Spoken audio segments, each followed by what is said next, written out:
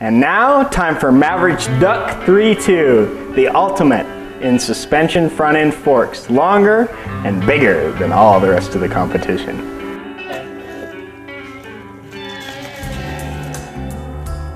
The best thing about this fork is the lockdown feature. It's still long until you hit a bump and it shortens up from a 125 to a 90 mil travel. And it's compressed air so it's still moving but it's kind of stiffer. So you can uh, climb, you know, standing up and it gives you better position over your pedals for climbing. Yeah, this fork is my favorite. It's big travel. And then you get to the top of the hill and unlock it. And you got, again, really nice plush, soft suspension.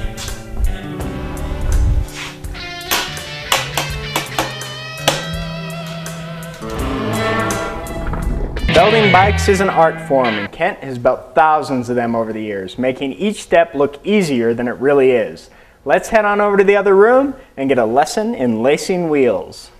Salsa makes a really cool, they make their own rim. This is a Maverick hub with a huge axle. Keeps the fork a lot more rigid.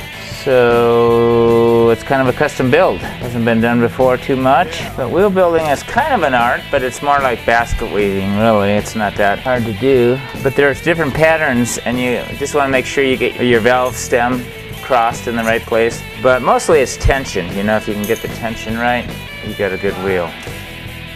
It's it's tough being a celebrity. Sometimes you have to blow off your bike rides just so you can get your time in front of the camera. I'm gonna be a celebrity anyway. Not yet.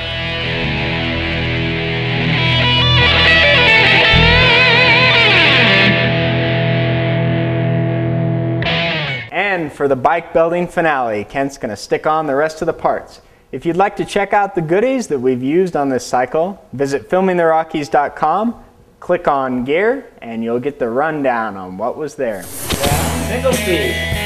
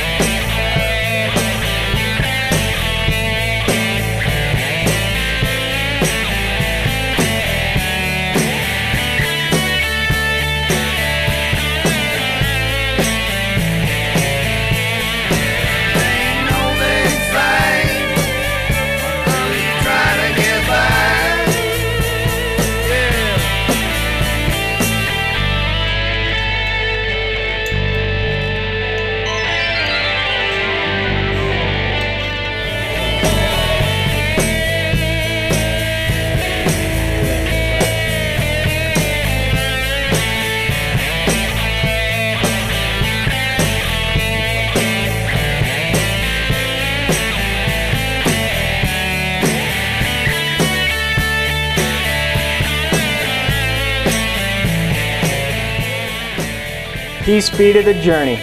Keep on pedaling. The hair. Oh. You know, the hair does what it will, and I'd go with it. I, I spent all night doing my hair on my pillow. but don't cut it, I might lose my strength.